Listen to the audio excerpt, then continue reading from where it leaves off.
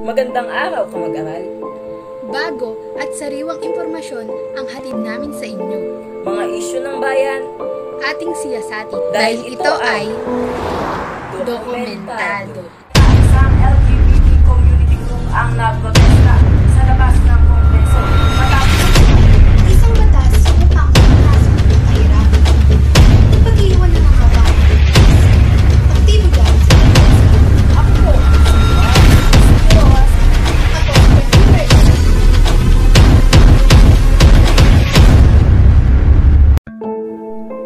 Mayo 5 taong 2000 at 20 nang ipasara ng NTC ang istasyon ng ABS-CBN. Sa botong 70 over 11, pinatay ng Kongreso ang franchise renewal ng nasabing network. Habang ang GMA naman ay namamayagpagpatin sa loob ng pitong dekada. Ngunit sa panahon ng pandemya ay mas natututok ang mga Pilipino sa panonood ng balita o ng telebisyon.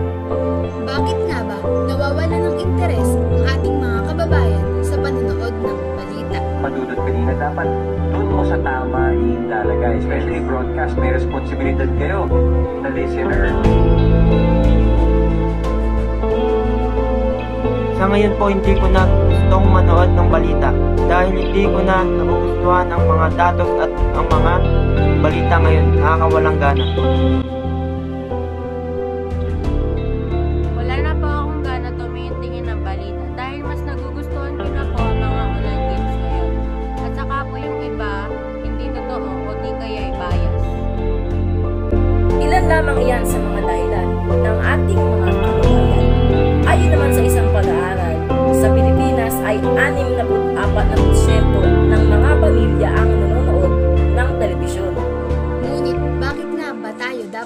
Dapat manood ng balita?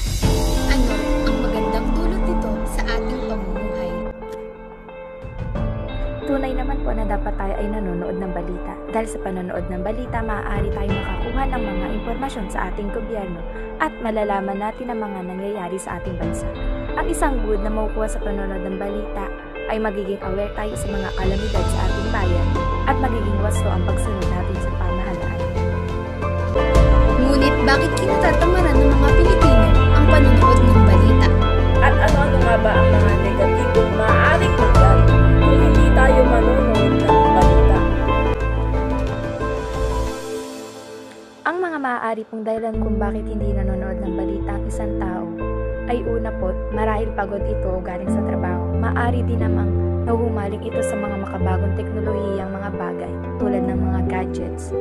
At pangalawa, dahil siguro may napapansin nila na may mali sa mga balitang kanilang napapanood. Kung patuloy pa din po tayo sa hindi panonood ng balita, mawawalan tayo ng alam sa nangyayari sa ating pamahalaan at hindi tayo magkakaalam sa mga kalamidad na nangyayari sa ating bansa. Marahil ay naliwanagan na